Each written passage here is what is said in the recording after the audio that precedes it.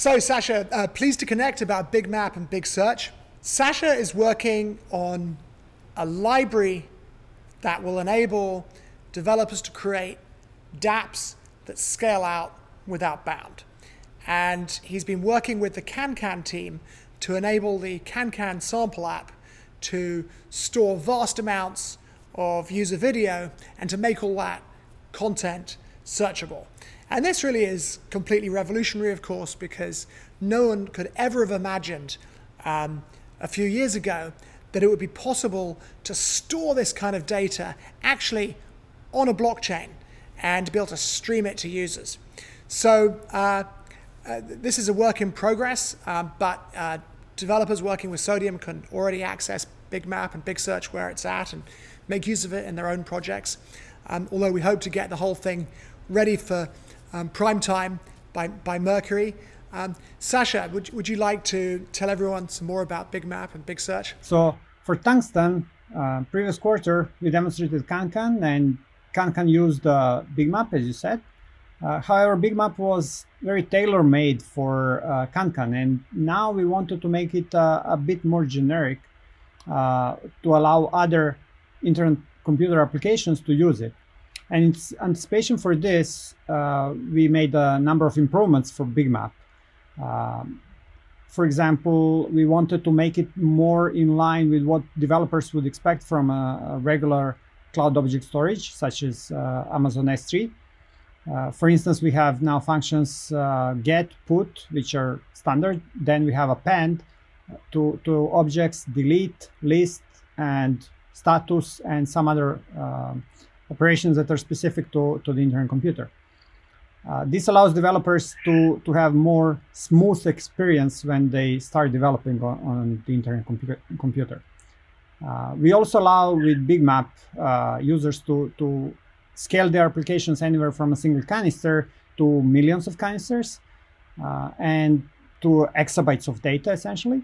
Um, and we also on top of all of that, we added the functionality for full text search in Big Map. That's really exciting. Do you, do you want to demonstrate some Big Map operations? So here on my screen on the left side, you can see uh, um, Web UI, which we created as a user-friendly way to interact with Big Map. Uh, it shows that currently uh, Big Map is running in, in a good state. Um, it has eight data bucket canisters, which uh, don't have any data essentially right now. Uh, so that is the, the main overview menu. And then there is another menu which uh, provides some details on, on, on Big Map, such as uh, usage over time or distribution of data across canisters. And finally, there is a search uh, part for, for full text search. And on the right side, there is a CLI where developer can uh, interact and um, perform maintenance operations so administrative actions, uh, and at the same, same time get experience uh, with working with Big Map. For example, uh, we have CLI operation, which is called get. As I said, Big Map is now empty. So when we get this new key, Big Map tells us the key doesn't exist, right? So that is that is fully expected. So let's add this uh, key with some value we just say new value over there. So this will um, go through the big map and insert this new value. And now if we do uh, get new value, it instantly pops back and says, uh, here's, here's the value that you asked for. So lookups are much faster than, than inserts as, of as course, expected. Because um, a, a, an insert is using an update call, which has to be replicated across all the nodes in a subnet. But a query call, of course, is executed a bit differently. Yes, yes, exactly, exactly. So that is much faster, right? So uh, one other thing that we support is appending to objects. Um, so getting an object can be done in a, in a much uh, um, more efficient way. So we can we can get much bigger objects than than we can insert. Uh, so insert is expected to to be done uh, in batches, right? In in increments. And one thing. And I suppose append is useful if somebody's uploading video as a stream or something like that. Exactly, exactly. So in this case, we created an empty five, 500 kilobytes file, so half a megabyte. And now we, we're just gonna um, append that file, or, or actually we could put it, but let's just append it to an object called large video object. Uh, so this gonna create a large video object in BigMap and write uh, 500 kilobytes of zeros in there. It could be any video content, right? This is just binary data. Of course. And then we can uh, repeat that again. On the left side, you can see that uh, the dashboard increased the total utilization to 512 kilobytes, which is again as, as expected. And now append finished, uh, the dashboard is, is gonna get updated to, to one megabyte utilization. And uh, if we get the, the object to a local file, we can see that the append uh, was just completed. We have a, a, one megabyte object that we that we just wrote in two chunks of 512 kilobytes. And if we check the data that is in there, it's all zeros as expected, right? And if we do a list on BigMap, we see that there is just a new key that we just inserted in a large video object as, as zeros and we can do a delete of a large video object over there and this will uh, free up space in BigMap in case uh, someone decides that some object is not not needed anymore. Uh, That's very cool. I mean, I, I think uh, for many people coming from a traditional uh, blockchain background, it'll seem almost impossible that you could have just written that much data to the blockchain, effectively to smart contracts and now it resides on chain. Indeed, indeed. This is something that uh, someone would expect from a cloud storage, not exactly from a blockchain. Yeah. Now with with this these advances in the internet computer, the blockchain is becoming the cloud, and this is a really fundamental, fundamentally revolutionary step. It can change everything. So um, I know this is early. I know you're uh, interacting with the big map on Sodium from a single um, computer terminal, but could you upload a, a, a bit more data to, to, to Big Map to show off how it works? Sure, absolutely. So right now we have um, eight data buckets. We just uploaded uh, some data into it. We see that uh, two data buckets are actually used, nothing else is. And now we, we can start some seeding of the data, some random data uh, to these data buckets. So this function will will create uh, 500 keys, each of um, wow. 100 kilobytes. Wow. In each okay. data bucket. Let's so see. you see the utilization grows on the, on the left side to 100 megabytes, and then it's going to keep going up. Yeah. So yeah, we have we have 500 megabytes already. So this is incredible. So I just want to put this into perspective for everyone.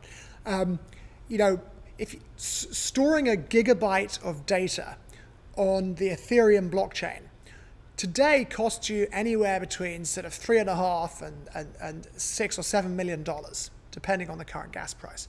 Not only that, it will take you an awful long time to upload a gigabyte of data to smart contracts on the Ethereum blockchain. Um, with this, uh, it's happened in really seconds. And not only that, um, we're going to enable people to maintain that gigabyte of data for just a few dollars rather than millions of dollars.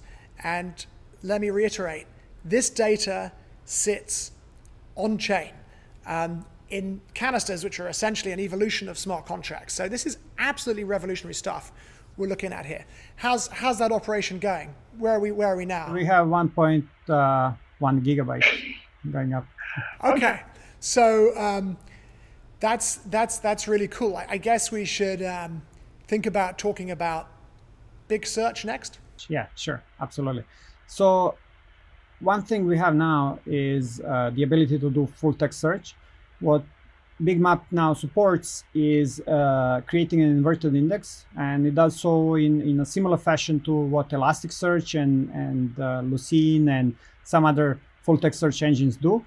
So it takes your object uh, you provide an object that you want to, to uh, make a full text search on, and it breaks it into tokens, uh, stamps it, and creates an inverted index. This is really important because if somebody wants to create um, a DApp that is an open internet service, you know, something like a open social network, you know, a social network implemented from autonomous code that's controlled by a tokenized governance system, you know, search is incredibly important for, for, for things like that, right? People need to be able to find users and content and topics that interest them. So it's not just enough to have Big Map that can store vast amounts of data. We also need to enable developers to make their data searchable. And, and this is what that does. Yes. So let's let's see. Um, we now don't have any data that is in the full text search index. So if we perform a search for, say, Lord of the Rings, we get no hits, which is expected because uh, the index is, is empty. The same happens if, if we do the same thing on the, on the UI, on the web UI. Now, we do have an index of uh, movies, a few movies here, a thousand or so movies. So now I'm going to add that to the full text search index. It's going to get indexed. And that, that is done actually pretty quickly. I mean, this is just so exciting and actually enabling a blockchain to do search. Yeah, now, now we have indexed uh, the movies. Now if we do the search here, it returns some movies here. And for example, I want to take a look at all the movies that Elijah Wood created in the, in the past. So uh, I, I do search for just name, some other string in this uh, result, and it just lists me all the movies where Elijah Wood is acting. So let me add another full text search index for, uh, say, Dfinity tweets. Uh, this is a list of 3,000 or so tweets. So uh, now if we do the search for WebAssembly, for example, it uh, gives us uh, 15 hits. If we do a search on Big Map, uh, we have two hits so far. Uh, let's see where is the when is the airdrop airdrop announcement.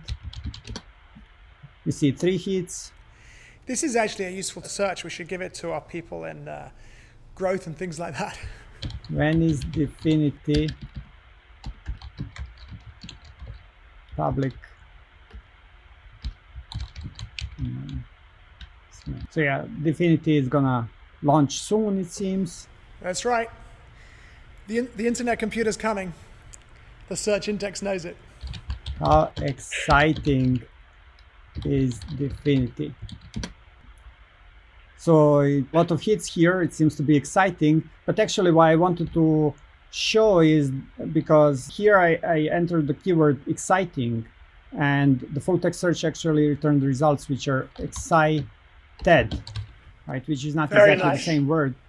Uh, and that is because we do stemming and other, yeah, other yeah. Uh, techniques to so cool. improve search results. We've um, shown how we can upload, I think, more than a gigabyte, right, before we stopped it.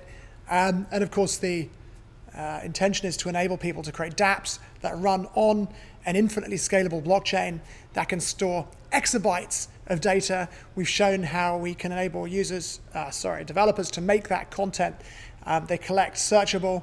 Um, you know, uh, it, this isn't just a revolution for blockchain, but it's a revolution in compute platforms generally. We're going to make creating hyperscale uh, services much, much easier than it's ever been before.